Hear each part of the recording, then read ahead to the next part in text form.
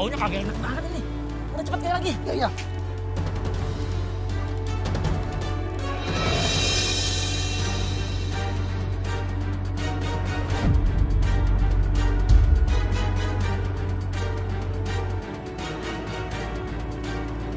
Mereka pada ngapain di situ?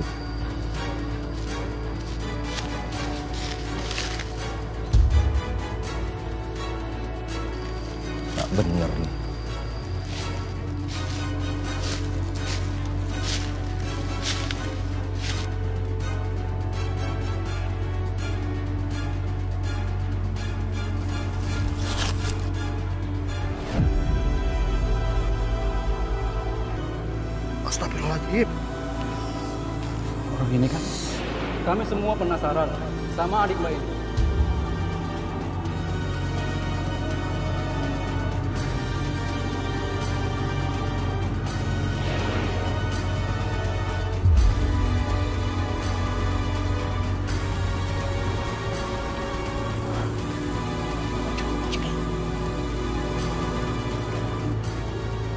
Halo Dan.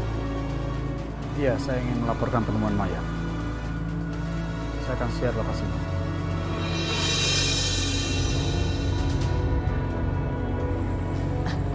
Suci, Farel ke mana? Aku benar-benar nggak tahu, Bu. Tadi sikapnya Mas Farel aneh. Dia tiba-tiba aja pergi nggak bilang-bilang ke mana. Aku telepon, aku hubungin juga nggak bisa, Bu. Kamu ini kan serumah. Masa kamu nggak tahu suami kamu ke mana? Harusnya kamu cari tahu dong. Jangan malah diem aja. Kamu tahu gak? Yang dihadapi ini adalah Amar. Ini penjahat yang sangat sadis dan kejam. Kalau terjadi sesuatu sama Farel bagaimana? Kok kamu nggak khawatir? Gimana istri macam apa sih kamu ini? Eh, tapi, Bu, Kalau terjadi sesuatu sama Farel, lihat aja. Kamu akan berhadapan sama ibu.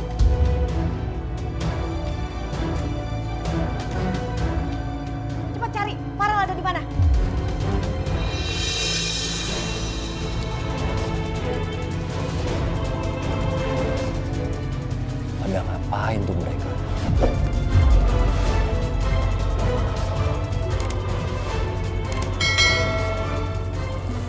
Bagaimana?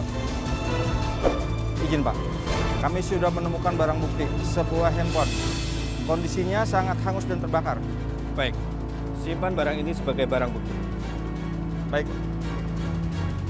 Pak Farel, apa yang membuat Bapak datang ke sini? Saya ketemu dengan anak di daerah dekat sini. Nah, saya baik lagi, saya berusaha mencari petunjuk apa pun yang bisa membuat saya menemukan Amar. Dan saya melihat gundukan tanah ini. Kira saya memanggil orang untuk menggali dan ternyata saya menemukan jenazah orang ini. Ini bisa menjadi bukti yang kuat untuk mengungkap keberadaan Amar. Bukan tidak mungkin ini ada kaitannya dengan Amar. Karena saya ingat orang ini saya lihat berada waktu di dalam wawancara bersama Suci. Dia sebagai wartawan yang saya tahu. Dia mengajukan pertanyaan. Ya, entah kenapa saya tiba-tiba menemukan dia sudah tidak keadaan bernyawa seperti ini. Baik, kita harus mengumpulkan bukti-bukti yang akurat.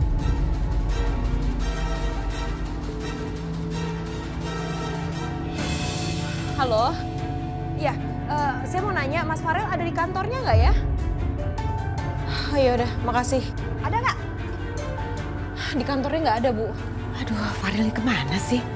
Gini aja deh, saya coba cek ke studio deh, Bu. Siapa tahu aja Mas Farel ada di situ. Iya, tolong ya. Kamu kasih kabar ibu kalau ketemu sama Farel. Iya, iya, Bu.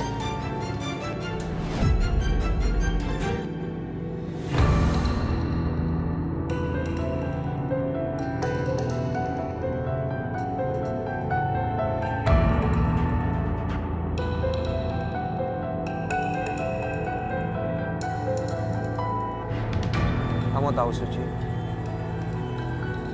aku nggak akan pernah menyerah dan akan terus berusaha sampai aku mendapatkan kamu.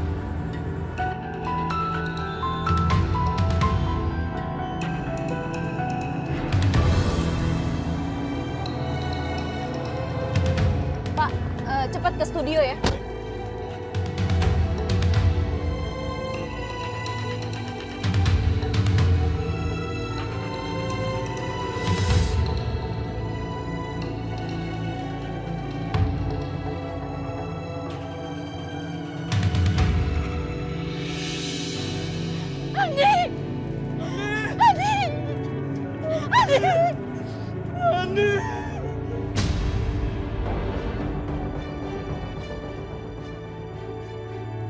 Sabar ibu ya. Sabar pak. Bapak Ibu,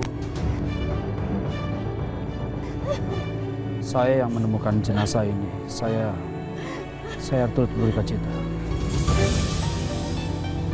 Kami akan berusaha keras mencari siapa pelakunya. Dan sejauh ini mengarah kepada satu nama, yaitu Amar.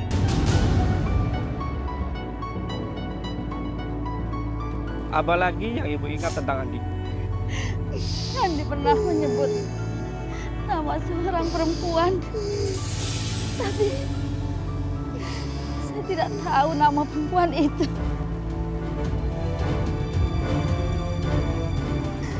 Pak polisi mungkin dugaan saya salah tentang Andi.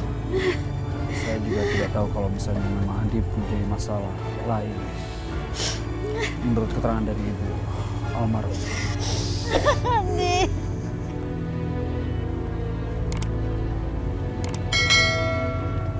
Macam-macam kamu ya Farel. Saya memang yang wartawan itu. Tapi bukan otak saya yang merencanakannya.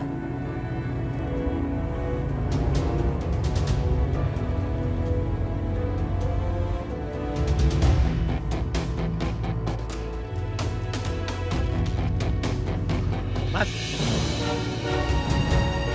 Hmm. Kelar nih, kelar, kelar hidup saya nih, kelar. Kalau saya nggak kabur, saya bakal masuk ke penjara lagi. Aduh, aduh, aduh, nggak deh, nggak, nggak, nggak. Mbah Pak Farel. Dan sebaiknya Pak Farel pulang saja. Kami akan menyelidiki kasus ini dan berusaha keras mengungkap kasus ini. Iya.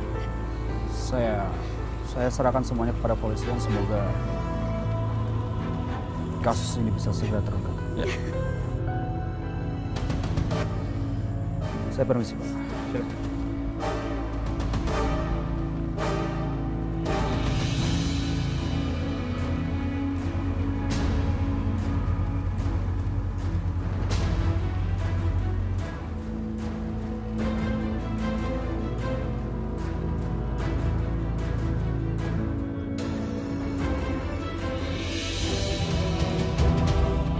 loh. Iya, uh, gimana Mas Farel ada di studio nggak? Nggak ada. Aduh.